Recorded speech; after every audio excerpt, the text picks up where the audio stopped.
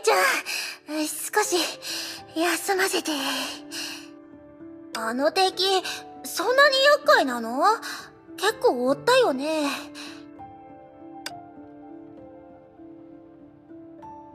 それは、正直に言うと、メイの姉ちゃんの走りが速すぎて、どんな奴だったのかさえはっきりと見えなかったよ。あでも、私たちの時代では、どんなに変な奴が現れてもおかしくなかった。メイの姉ちゃんが見たことのない奴もいるし、普通にあることだから。ほら、それより、さっき見つけたお宝を見てみようよ。おビルビーの姉ちゃんが書かれてるカードだ。え、その表情。まさか、メイの姉ちゃんのもの？ならさっきのお礼として持ち主に返すよ。あ、もちろん、これだけじゃまだまだ足りないよね。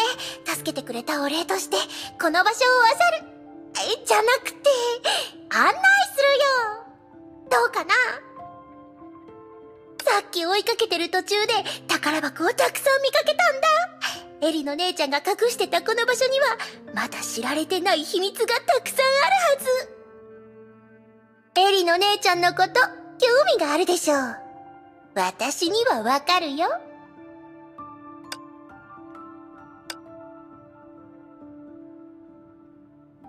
あそれなら、お互いに必要なものを取ることになるね。安心して、さっきみたいなやつを見かけたら、注意しておくから。それじゃあ、これで決まりだね。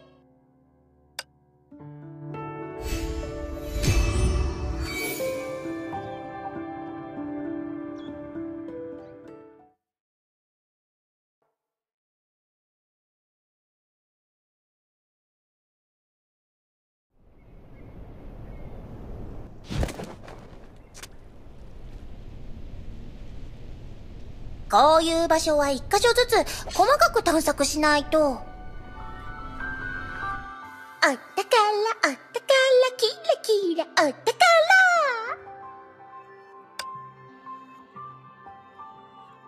え？メイの姉ちゃん、なんでそう思うの？あれ？そう？宝箱探しに夢中だったから、方向はあんまり気にしてなかったよ。メイの姉ちゃん、ここの道は複雑すぎると思わない？くねくねしていて混乱しちゃう。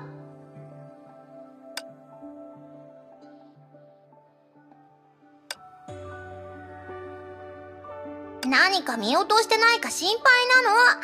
初めて来たところだし、隅々まで探索しないと。何しろ私は、ここにあるすべての宝箱を漁ることを目指しているから。でも、メイの姉ちゃんの言う通りかも。この邪魔な垣根を乗り越える方法があればいいんだけどな。あ、そうだビルビーの姉ちゃんの万能鍵が役立つかもただ、別のところに置いてきちゃったんだよね。そう、ビルビーの姉ちゃんがくれたの。すべての鍵穴に使える鍵。仕入れの時はかなり役立つんだ。もちろん、その見返りとして、ビルビーの姉ちゃんが何かを必要としているときは、優先的に手伝わないといけなくって。見ればわかるよ。さあ、こっちだよ